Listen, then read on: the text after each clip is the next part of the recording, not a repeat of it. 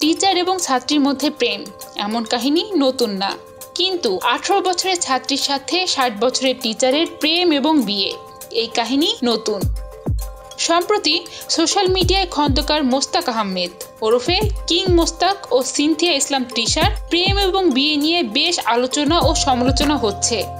কারণ এই দম্পতির বয়সের ফারাক বিয়াল্লিশ বছর এবং কিং মোস্তাকের বইয়ের বয়সী একটি কন্যা সন্তানও রয়েছে। কিং মোস্তাক মাঝে মাঝেই তার মেয়ে ও বউকে নিয়ে সোশ্যাল হ্যান্ডেলে ছবি এবং ভিডিও শেয়ার করেন আর যে কারণে তাকে ট্রোলের শিকার হতে হয়। সবাই ঠাট্টা করে বেশ কুরুচিপূর্ণ কমেন্টও করেন। কিং মোস্তাকের সাথে তৃষার প্রেমের সূত্রপাত হয় ফেসবুকের মাধ্যমে। কিং মোস্তাকে প্রথমে ফ্রেন্ড রিকোয়েস্ট পাঠায় তৃষাকে। তারপর হাই হ্যালো দিয়ে শুরু হলেও তৃষা পরে জানতে পারে সে যে স্কুলে পড়ে, অর্থাৎ গভর্নিং বডির মেম্বার এবং ডোনার হলেন খন্দকার মুস্তাক আহমেদ।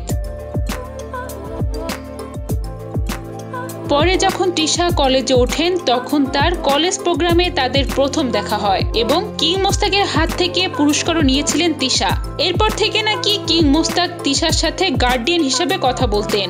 কথা বলতে বলতে তাদের সম্পর্ক গড়ায় প্রেমে।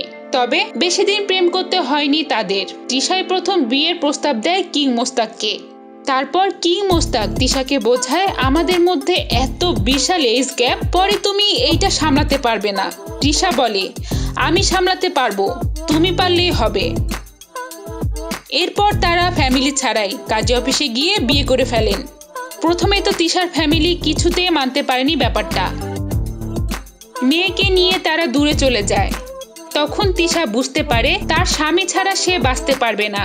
তাই সে তার বাড়ির দোতলা ছাদ থেকে গভীর রাতে লাভ দিয়ে বাসা থেকে পালিয়ে ঢাকায় মুস্তাকের কাছে চলে আসে।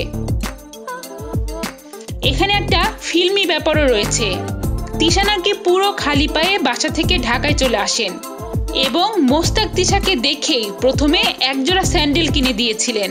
তবে ষাট বছরের মোস্তাককে নিয়ে এখন সুখে আছেন তৃষা তার সব আবদার পূরণ করেন মোস্তাক। তিশা চলে আসার পর অবশ্য তিশার বাবা খন্দকার মোস্তাকের বিরুদ্ধে অপহরণ মামলা করেছিলেন। সেই মামলা থেকে তিশাই তার স্বামীকে রক্ষা করে। এদের প্রেম কাহিনী যে কোনো সিনেমাকেও হার মানায়। যাই হোক, বয়স কোনো ব্যাপার না, ভালোবাসাটাই সব।